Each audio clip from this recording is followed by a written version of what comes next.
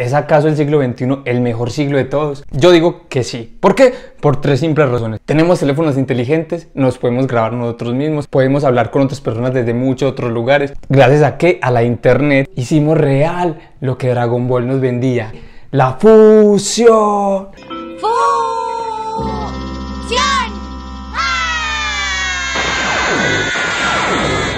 ¿Qué? ¿Es ese?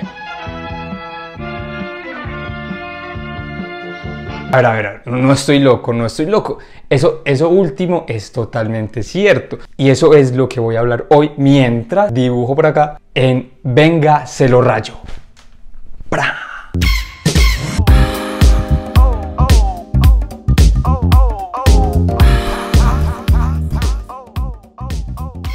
Estoy por acá, estoy por acá, estoy por acá abajo, por acá arriba está el dibujo, que el día de hoy se trata de algo muy especial que se llama la fusión de relaciones. ¿What? Oye, oye, despacio, cerebrito. No, no, no, no se alarme, no se alarme, porque es algo muy interesante. Resulta que hace días me puse a ver en Twitter, porque mi novia me lo recomendó, me dijo, yo creo que vos necesitas un poquito de cultura. Lo que necesitas leer es el hilo de Twitter de la relación de Justin Bieber y Selena Gómez. ¿Yo qué?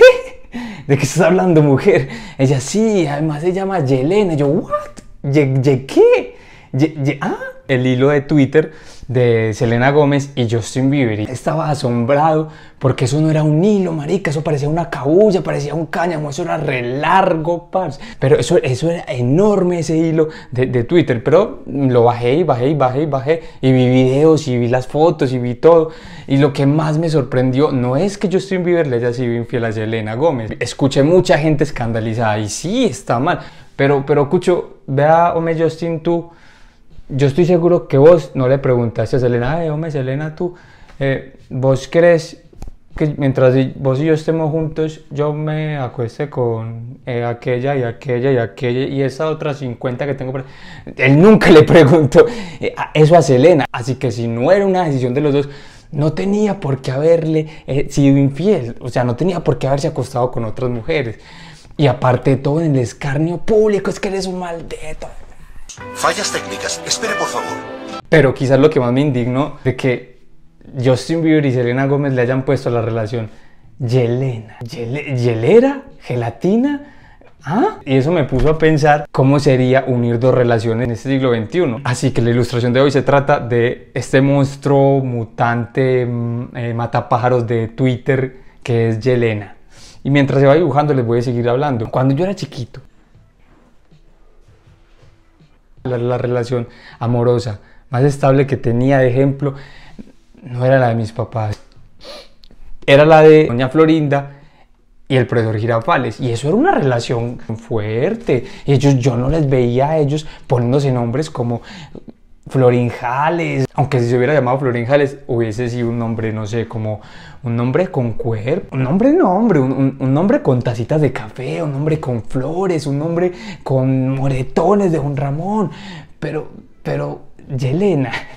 Yo sé que Selena Gómez no ve mis videos, pero señorita, donde quieras que estés, y si estás viendo este video, ¿usted por qué es tan bobita? No, de verdad, de verdad. A mí me hacen la, me la hacen una y listo.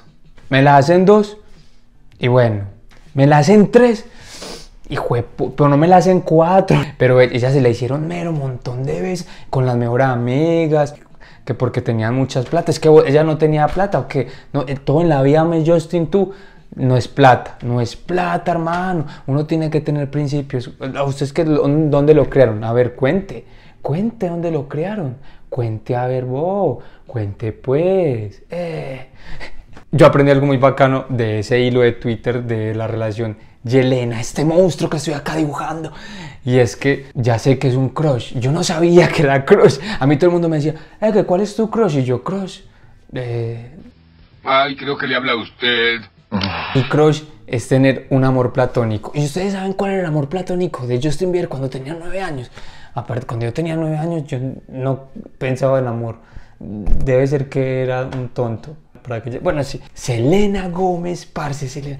Es como, wow, muy loco. Y aún así le tenías que ser infiel cuando creciste. Porque sos así, maldito niño.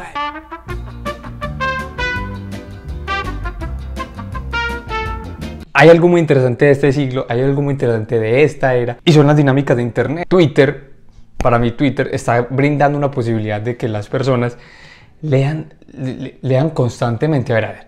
WhatsApp también lo hace, pero no estoy muy seguro de que también escrito esté el contenido de WhatsApp. Aparte porque además ya estamos hablando con un montón de stickers, parce. Aunque, aunque bueno, eso ya es como ir dándole una variación al lenguaje. Ya no es solamente escritura, palabras, sino también ya son imágenes. A ver, estaban los emojis, pero es que el, el sticker es algo mucho. El sticker es como la evolución del emoji. El, el emoji es mucho más minimalista. El emoji es hasta surrealista en muchos. Hay unos, muy, unos emojis muy, muy, muy raros. Está el del fantasmita, que es como, como un fantasma sacándole la lengua a uno. Me deberías estar asustando, maldito fantasma, no sacándome la lengua. Entonces es súper surrealista. Pero el sticker volvió al realismo y ya, y, y ya son las imágenes de las personas.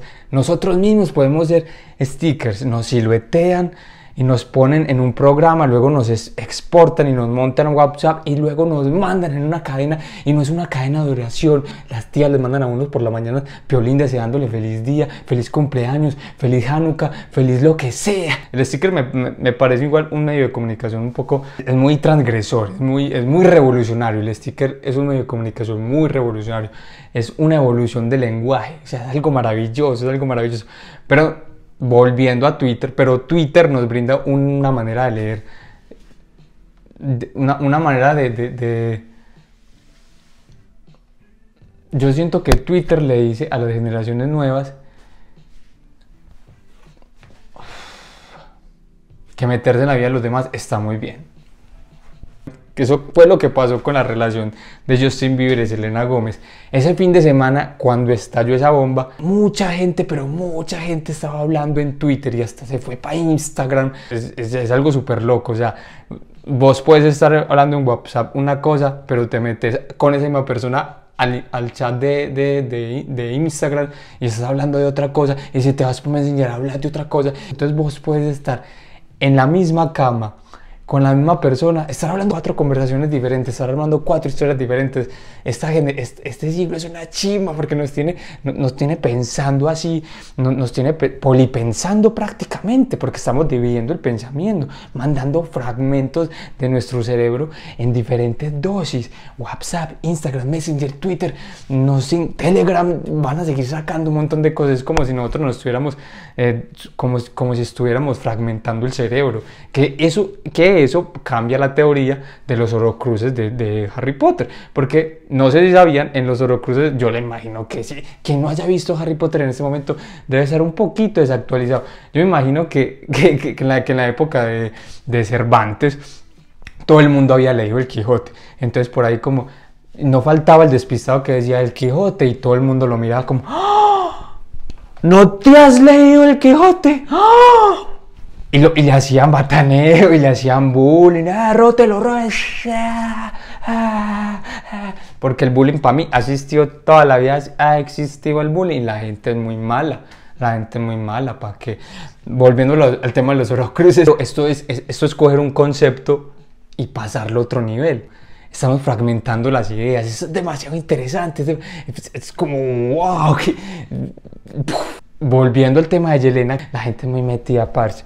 Porque era, era todo el mundo, ay, qué pesar de Selena Gómez, no, ese muchacho como la trata de mal. Yo me puse un momento a pensar, yo, a ver, a ver, ¿en qué momento Justin Bieber se volvió bonito, se volvió cuajo, consiguió muchas mujeres? Ah, si cuando yo lo vi crecer, era un peladito, parce, desgarbado, con cara de loser, que no, que no daba ni ganas de insultarlo, parce. Y Así que uno, uno se queda como, uno no le puede desear el mal a las personas porque se vuelven mejor que uno. Así que uno prácticamente tiene que empezar a desearle el bien a las personas. Eh, que te vaya muy bien, hombre, para que le vaya mal. O por lo menos si le va bien, uno diga, yo le deseo el bien, ¿sí vio? Yo le deseo el bien. Ah. Pero todo el mundo, todo el mundo metido en la, en, en la, en la relación de Selena Gómez y Justin Bieber, que me parece más triste aún porque eso, eso supuestamente, esa relación supuestamente se acabó hace rato, parce. Pero una vez parchada en Brasil, dijo, ve, ¿yo qué estoy haciendo hoy? Ah, me cancelaron el viaje. No, ejercicio, no, ya me morí gorda.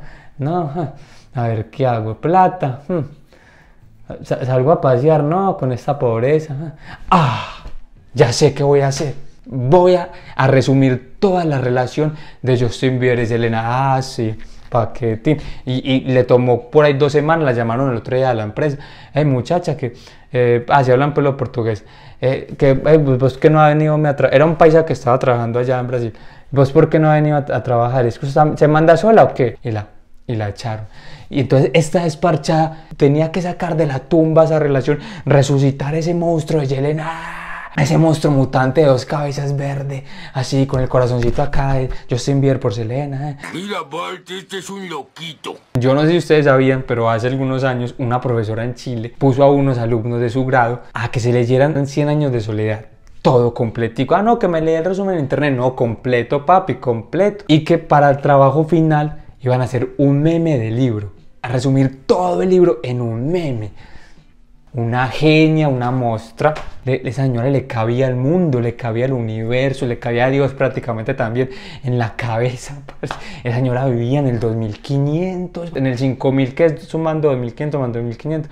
Esa señora era una adelantada. Fue capaz de unir, porque fue capaz de poner a unos niños a que se leyeran todo un libro de literatura del bigotón este, Gabriel García Márquez, que lo hicieran lo que más les gusta hacer a, lo- a esta generación, burlarse, perdón, memes.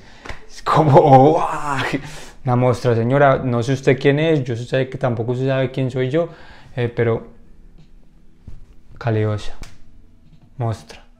Me gustaría pensar que algún profesor visionario, profesora, llega la semana que viene, puede ser mañana, no sé, llegan estos días y le dice a los alumnos de, de su salón, todos me van a hacer que está de moda en este momento. Los memes, no, eso es- Ah, ya sé. Que llegue y les diga como, todos me van a hacer un paquete de 10 stickers de WhatsApp resumiendo la relación de Justin Bieber y Selena. La rompe, la- ¿por qué? Porque es coger la tendencia, lo que está en este momento, así, y combinarlo con algo también comunicativo como son los stickers de WhatsApp. Genial. Y bueno, ese fue el video de hoy, dibujando este monstruo que se llama Yelena y hablando un poquitico de lo que para mí es Yelena. Síganme en Instagram como Geheart, donde voy a montar esa ilustración que hice. Y si quieren escuchar más sandeces, más bobadas, síganme en arroba el mismo y ahí se pueden entrar muchas otras cosas.